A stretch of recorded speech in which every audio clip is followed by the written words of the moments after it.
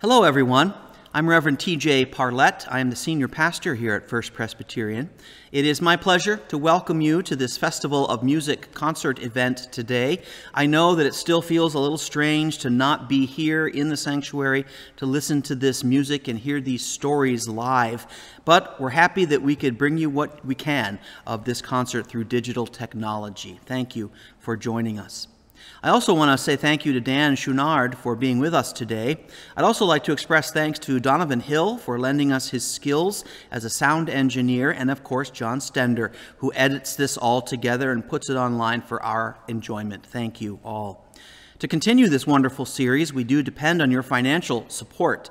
I hope that you'll consider making a donation to a festival of music by sending a check to First Presbyterian Church, 512 3rd Street Southwest, Rochester, Minnesota 55902.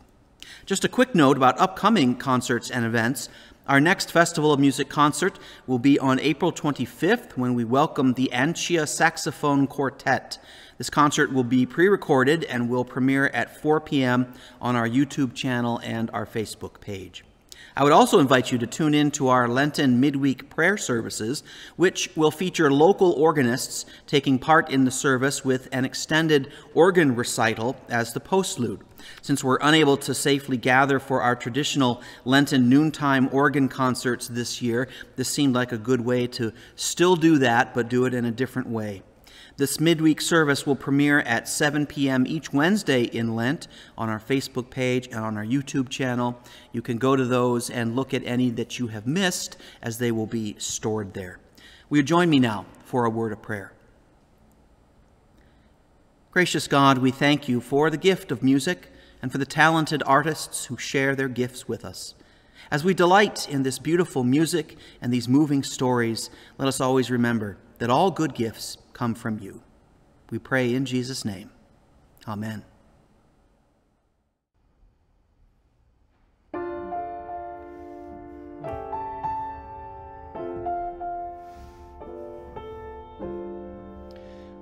It's wonderful to be here this afternoon. It is afternoon where we are right now, and it's Lent, season of reflection, of remembering of discernment. And yet, as so often happens in Lent, it's also a glorious spring day. The sun is shining, birds are singing, it's warm, stuff is melting. And we're reminded that we're all part of this circle of life. And this is a season to remember that just before everything busts out loose and goes crazy.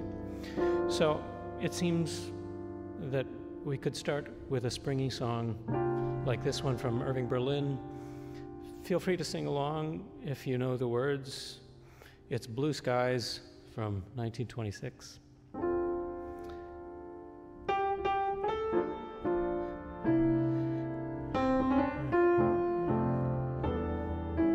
Blue skies smiling at me, nothing but blue skies do oh, I see? Bluebirds singing their song, nothing but bluebirds all day long. Never saw the sun shining so bright, never saw things going so right. Noticing the days hurrying by when you're in love, my how they fly, those blue days all of them gone. Nothing but blue skies from now on.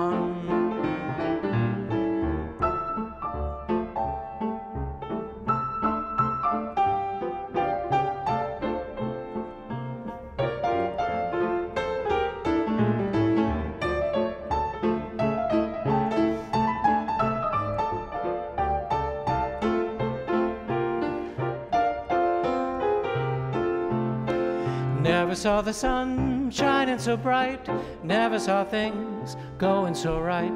Noticing the days hurrying by when you're in love, my how they fly, those blue days, all of them gone. Nothing but blue skies from now on. Nothing but blue skies from now on.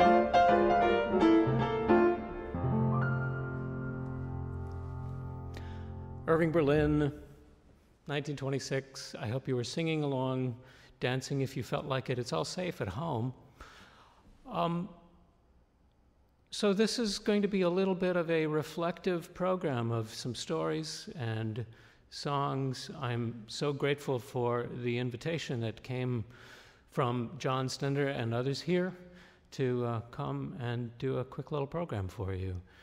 Uh, it may be a sort of sentimental and nostalgic program. It might feel that way at times because this feels to me like a time of remembering a lot of people, including some we've lost just recently. But it certainly has been a season of difficulty and, and loss for many, for certainly for the past year or so. So there's going to be a little bit of looking back on that. And the first looking back I want to do, though, is, uh, is just to acknowledge my history with the Presbyterian Church uh, as, a, as a kid who grew up in a, in a Catholic family. I'm the second of six kids.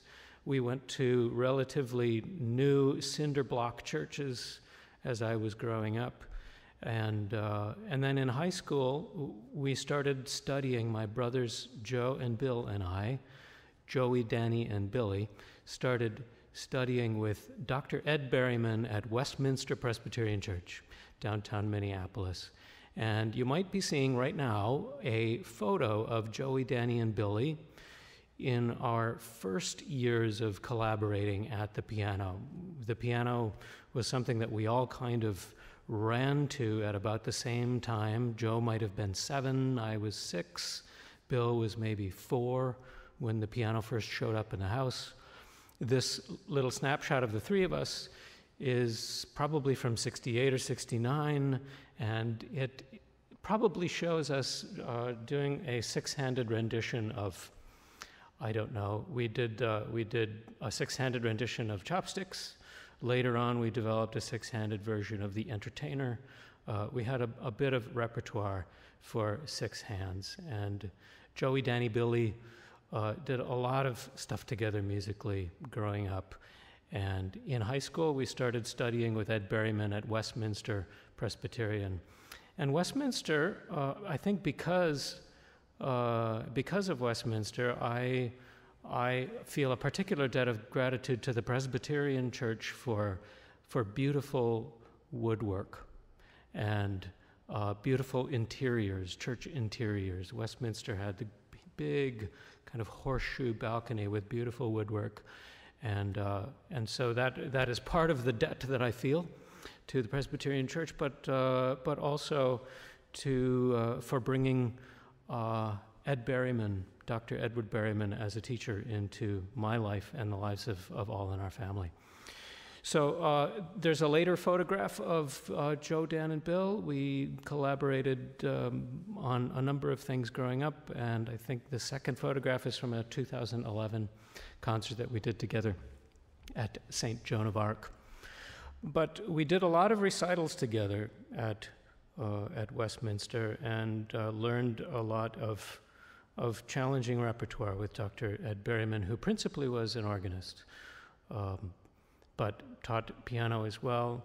I'd like to play a, a, piece by Edvard Grieg right now, which is one of the pieces that I worked on with him. And this is called Wedding Day at Troldhaugen.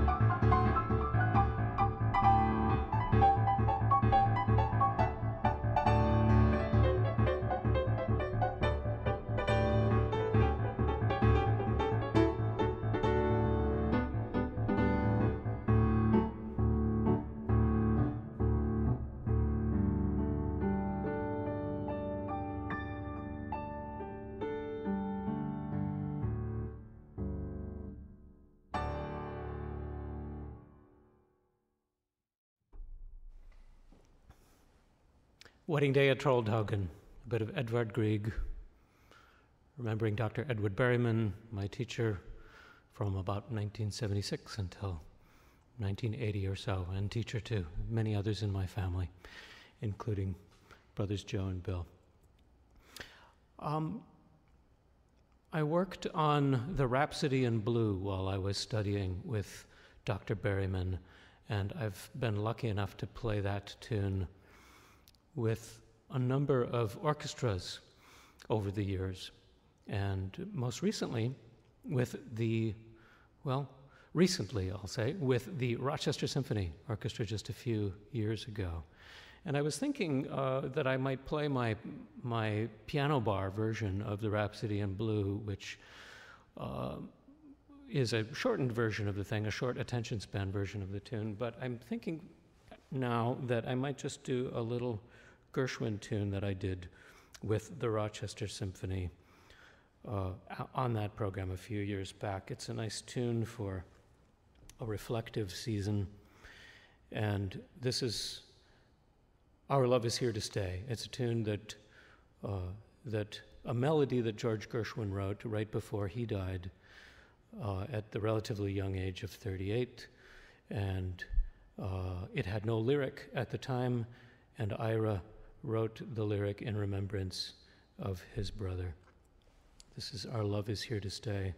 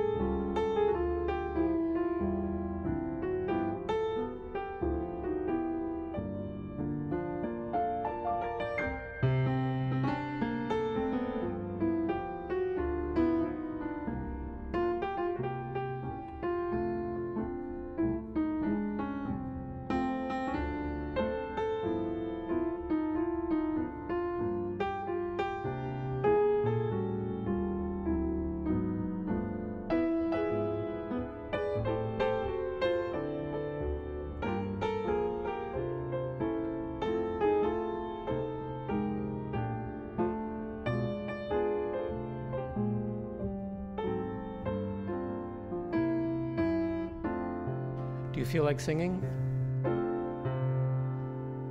It's very clear our love is here to stay. Not for a year, not for a year, but ever and a day.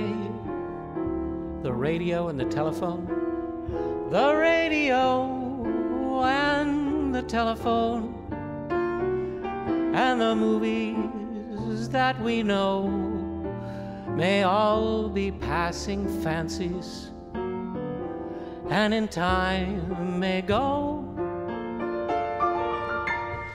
But oh, my dear, our love is here to stay. Together we're going a long. In time, the Rockies may tumble, Gibraltar may crumble. They're only made of clay, but our love is here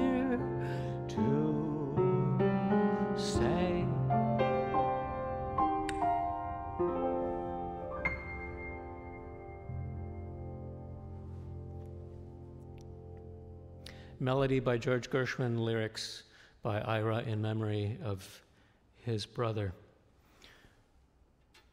I, I don't know if it's something that continues at the Mayo Clinic, but for uh, an, on a number of occasions, I did something that was called Harmony at Mayo, where music was performed down in one of the atria, and it was it was sent live into, into uh, patients' rooms all over the campus. And I recall being down here uh, with Prudence Johnson, down here with Ruth McKenzie. On each occasion, there were people I knew who were sitting in chairs, sometimes in wheelchairs, in the atrium, watching and listening. People who have come to Mayo for, for help in, in dark times in their lives, and they've all gotten that help and gotten hope and sustenance. And one of them was my brother, Joe, who was diagnosed with pancreatic cancer um, in 2017. And it was far advanced enough that things moved fairly quickly, but they were down here at Mayo a number of times uh, to get information, reassurance, help, expert advice. And I was reminded that, uh, that purple is the color of Lent, um, and I wish I could claim that, that I was uh, that tuned in to the aesthetics of the liturgical year to, to claim that as the choice of, of this here tie, but it's also the color of, of pancreatic cancer awareness. And uh, so I wear this in memory of my brother Joe, who passed away in 2018. We played so much together. There have been some other, uh, a couple of other losses that, if you don't mind, I'd like to acknowledge right now. And one of them is of a dear friend and colleague, Debbie Duncan, singer who grew up in Detroit, who spent a lot of years in Los Angeles, and then came here to sing at a newly opened fancy nightclub, Rupert's nightclub in Golden Valley, and decided to stay and had several decades of being really the preeminent jazz singer and singer of just about everything around town.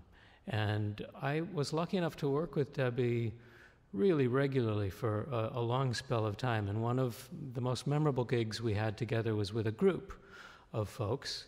You might be seeing a photo right about now, a group of folks uh, doing a gospel brunch every Sunday at a restaurant called Nostalgia on the west bank of the University of Minnesota, uh, which is now gone. The building's been demolished, but at the time we played upstairs.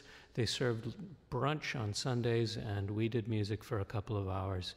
Debbie Duncan is up in the upper left hand side of the photo, along with Gwen Matthews and her daughter Candy, who is down at the bottom of the photograph, and then Dennis Spears and uh, and it was it was a, a, tremendously rich experience for me, both in terms of music and in terms of the friendships that developed between all of us in that group. Um, and I thought I would do a tune that uh, that Debbie sang pretty much every Sunday when we were together during that period, which was the mid 1990s. This is uh, this is called "His Eye Is on the Sparrow." um, a tune that I think Mahalia Jackson sang and recorded along with so many other people.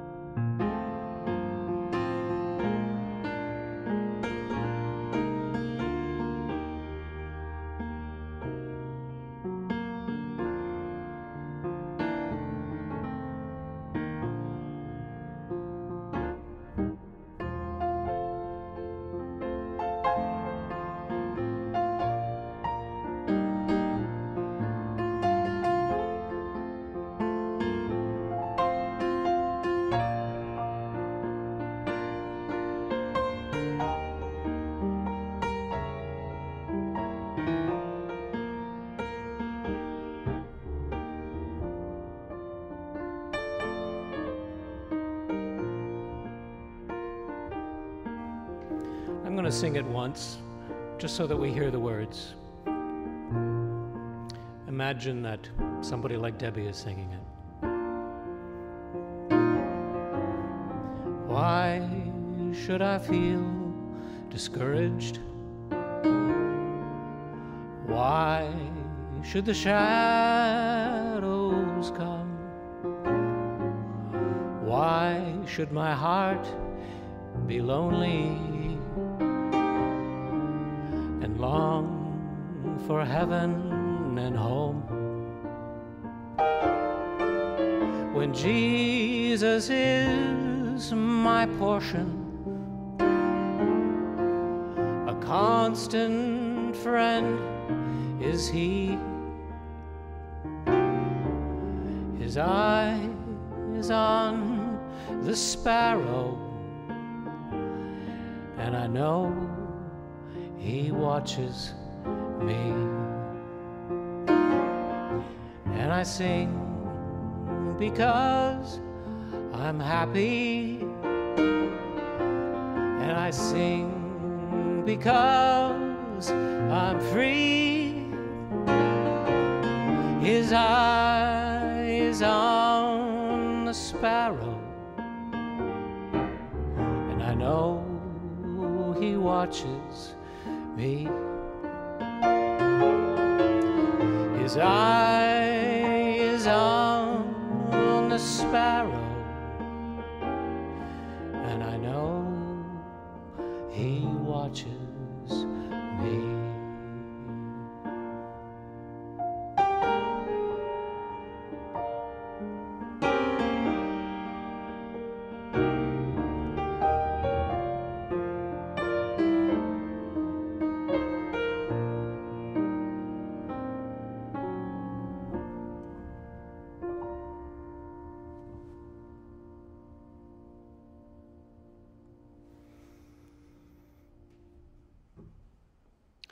That's a gospel tune. Debbie was a great, great singer of R&B, of blues, of rock and roll, and of classical music every once in a while, and of jazz. And uh, perhaps jazz maybe was her first love or the thing that she was most noted for. The Minnesota Music Awards, after many years running, of Debbie getting Best Vocalist. They simply created a perpetual Debbie Duncan Award that was given to her every year. And uh, maybe we do a Cole Porter tune that I know was something that she did often. Every time we say goodbye.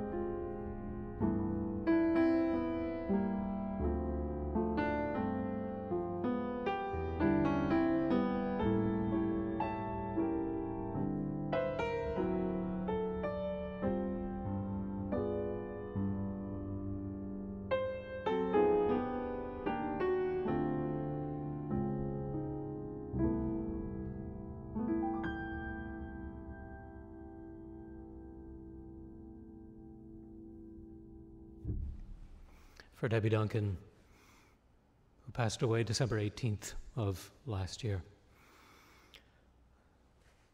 Also, more recently, another friend, Peter Ostroushko, uh, passed away on February 24th.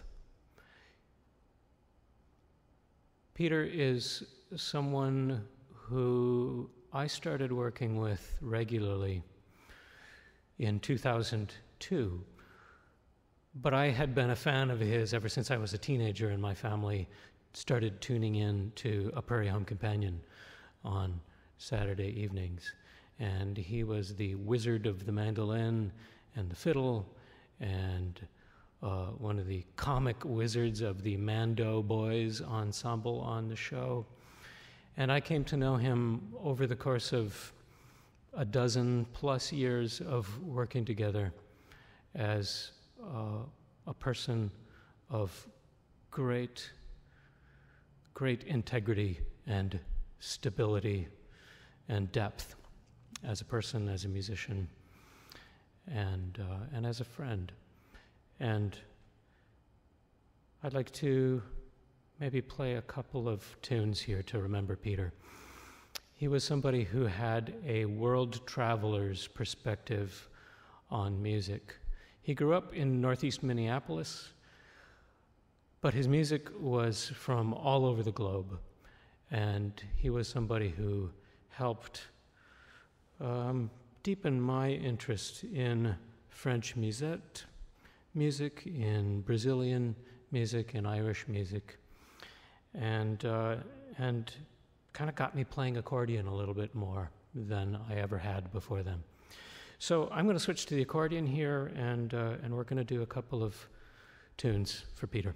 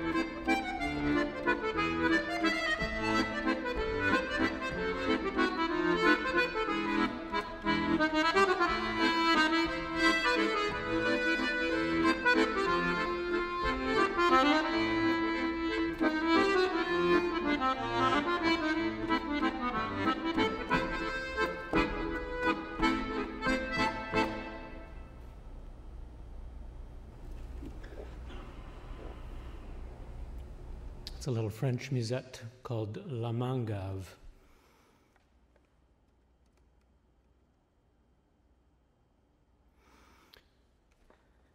Here's a, a, set of reels by John Doherty, who was an Irish fiddler and tinsmith throughout the 1900s, one of the last practitioners of the itinerant tinsmith and fiddler profession in Ireland, lived into the 1970s, I believe, and perhaps a little bit later, but Peter studied his music and transcribed a lot of it.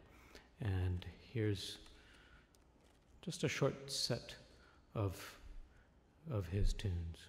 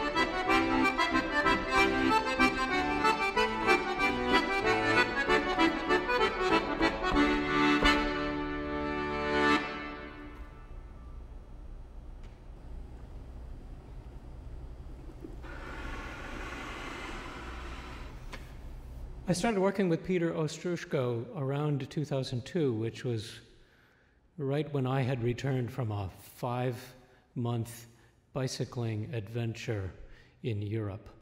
9 11 had happened the year before.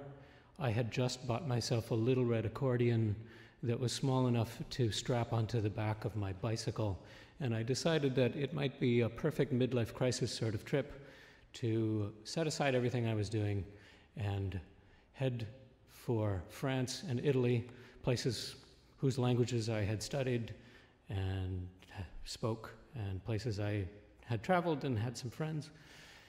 and spend the entirety of a summer on the bicycle with a tent and a sleeping bag and the little accordion just to see what it might feel like to try being a bicycling vagabond for a while.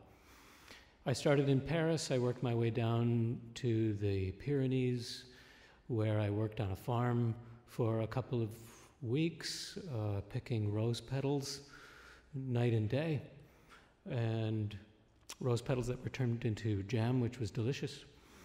Um, and then continued along the French Riviera all the way down the coast of Italy, down as far as Rome, and then, and then back up uh, to the Netherlands, to Belgium, and then across to England, where by then it was September and it was cold and rainy, and I had no idea why I was still uh, living the busker dream when all the kids were back in school and it was time to come back home and do something more serious.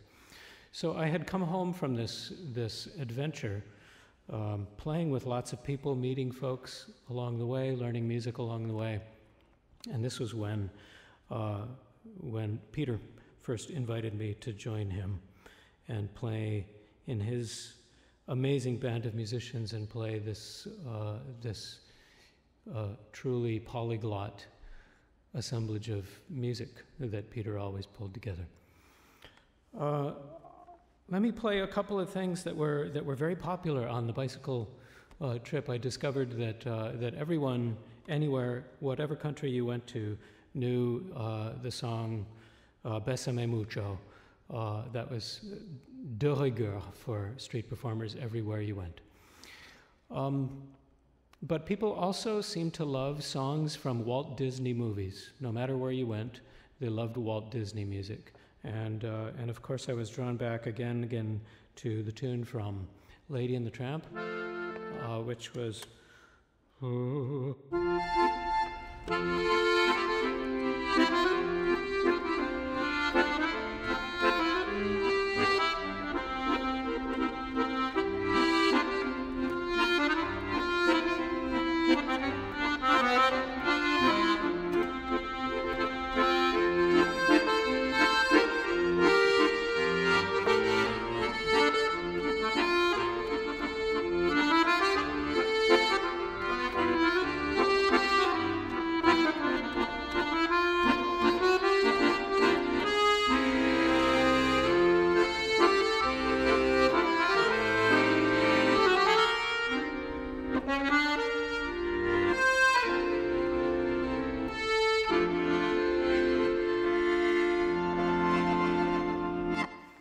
You remember that one? It's, it's the spaghetti scene, right? The dog's in the restaurant with the spaghetti and the waiter's coming by mandolin. Um, but I also found that everywhere I went in Europe, uh, people wanted to hear Frank Sinatra and they wanted to hear Elvis Presley. And it was, uh, so it felt like a, a moment to bring up the fact that Elvis drew a lot of inspiration from European music from French music, from operatic music, from Italian.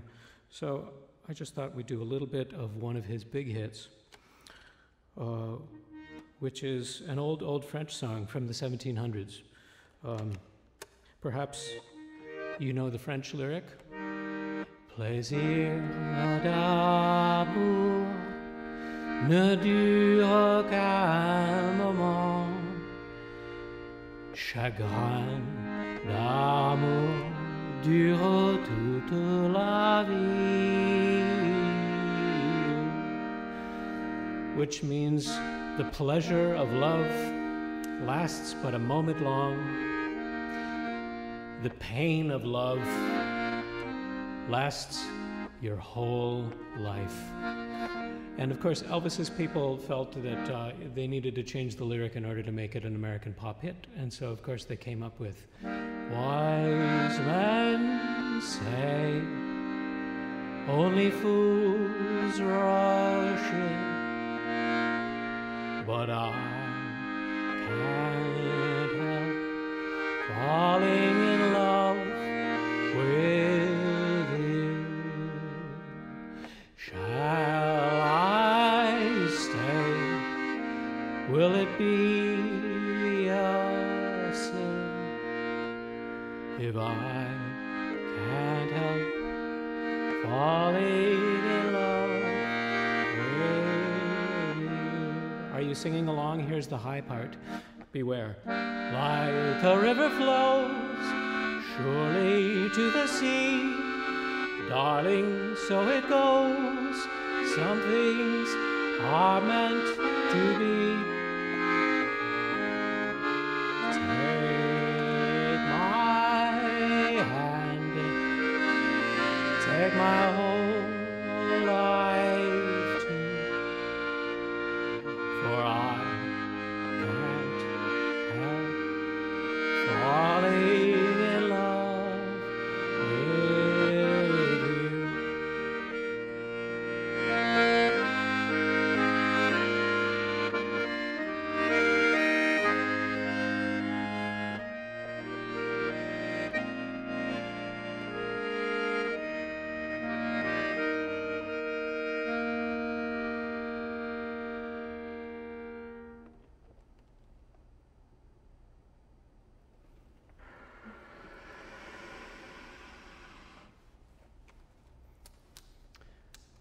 Going to move to the piano for just a couple more songs.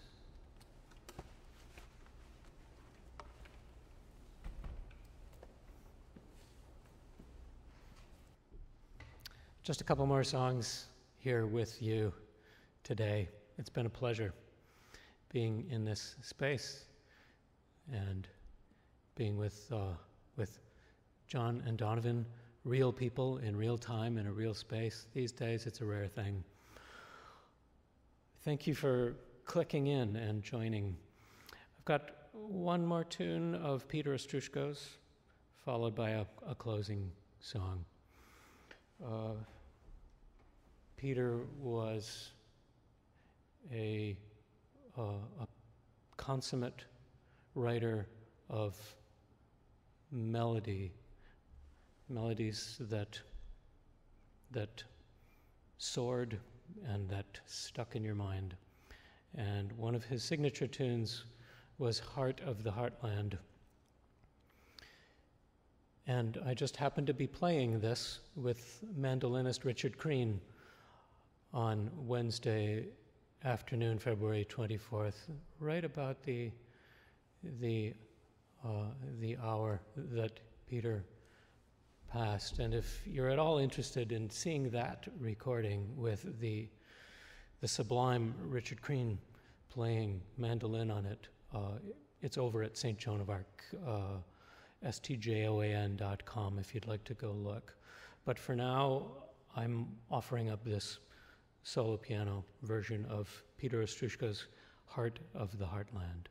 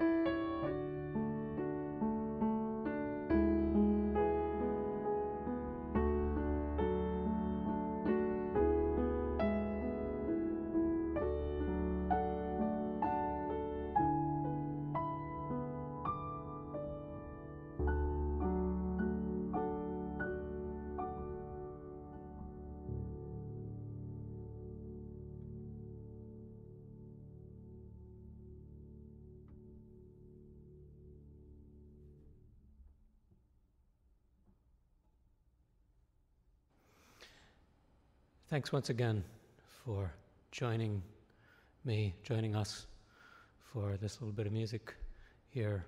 It's been my pleasure to, to be here and to remember folks and to join all of you, whoever you might be remembering on this occasion.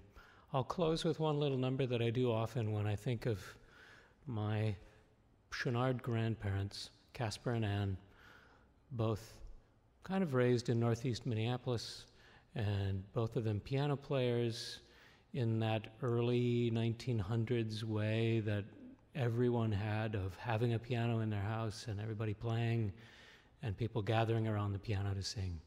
And my grandparents, whenever they came over for dinner, would sit side by side, cheek to cheek, on the piano bench and play old timey duets. And this was one of them. It's called I'll See You in My Dreams from 1924.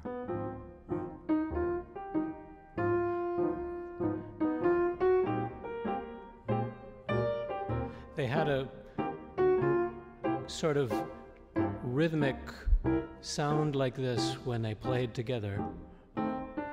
My grandfather would often just play with one finger. He was holding his pipe with the other hand. And would do instant jazz with the one finger, which you accomplish simply by sliding off the black key onto the key, the white key above.